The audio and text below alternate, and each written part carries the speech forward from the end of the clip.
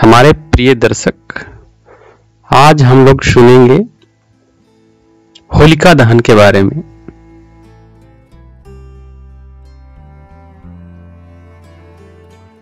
जैसा कि आप जानते हैं कि भारत का एक महान और पवित्र पर्व है होलिका दहन।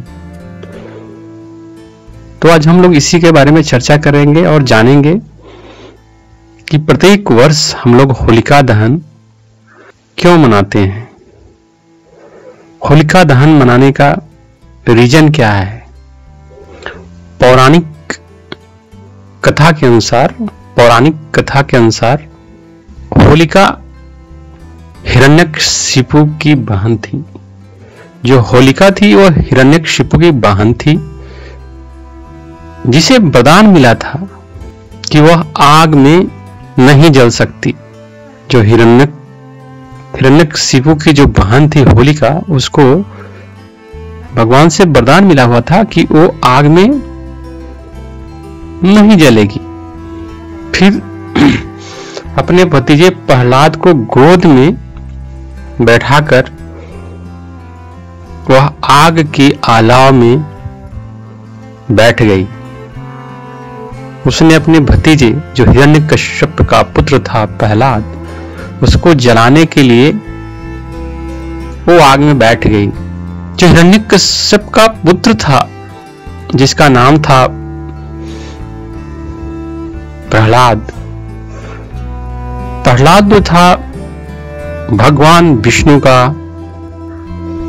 एक समर्पित उपासक था। मतलब भगवान विष्णु का वह भक्त था। तो हिरण्य कश्यप जो है अपनी बहन होलिका से बोला, बहन, मुझे तुम्हारी मदद चाहिए। वो अपने पुत्र को ही मारने के लिए अपनी बहन होलिका का मदद ली। होलिका प्रहलाद को गोद में लेकर चीता पर बैठ गई। जो आग का चीता है, उस पर लेकर प्रहलाद, होलिका जो है प्रहलाद को लेकर बैठ गई।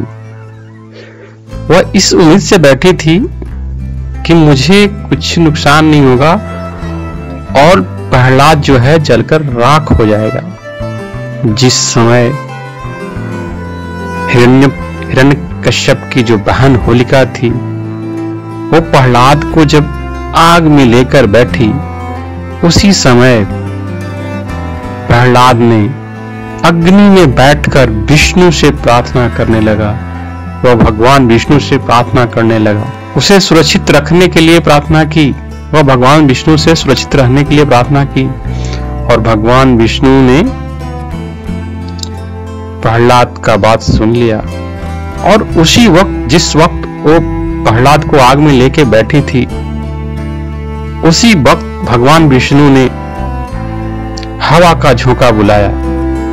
भगवान विष्णु ने हवा का झोंका बुलाया, जिससे साल जो होलिका थी, एक शाल ओढ़ी हुई थी, जिससे शाल होलिका के ऊपर उड़ गई और प्रहलाद पर गिर गया। जो शाल ओढ़ रखी थी, वो साल जो है, भगवान विष्णु ने जब देखा कि ये तो बहुत ही अत्याचार हो रहा है तो उन्होंने एक हवा का झोंका बुलाया और जो शाल ओढ़ रखी थी होलिका, वो हवा के झोंके से होलिका से होलिका के वदन से उड़कर प्रहलाद के शरीर पे चला गया।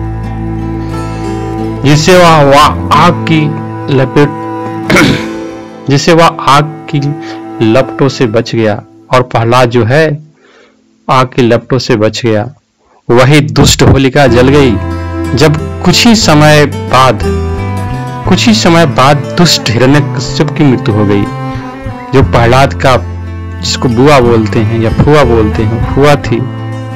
और हिरण्य कश्यप जो था, वो प्रहलाद का पिता था।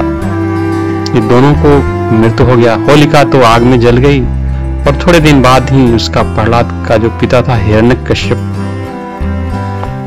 वो भी मर गया। तो प्रहलाद उस स्थान के तो प्रहलाद उसी स्थान पर राजा बन गया और उसने बुद्धिमानी और निष्ठा से शासन किया। होलिका दहन जिस होलिका दहन जिसे छोटी होली या अलाव उत्सव के रूप में जाना जाता है।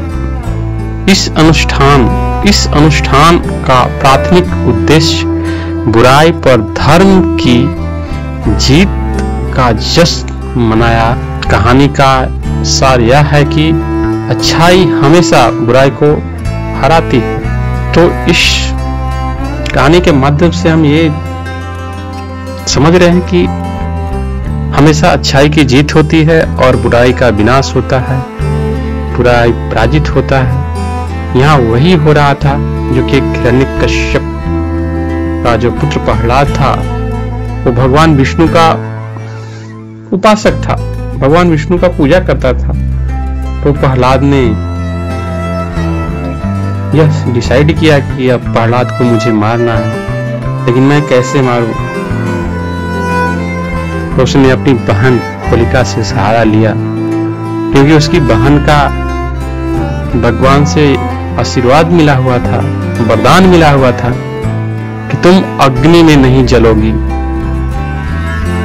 उस वरदान का उसकी बहन होलिका ने दुरुपयोग कर रही थी। उसी दुरुपयोग को भगवान विष्णु ने देखा कि ये तो अनर्थ हो रहा है। तो भगवान विष्णु ने उसी समय एक तेज हवा की झोंके लाए और प्रहलाद को बचा लिया। अर्थात इस कहानी से हम यही सीखते हैं कि अच्छाई को हमेशा जीत होती है, बुराई हमेशा पराजित होता है।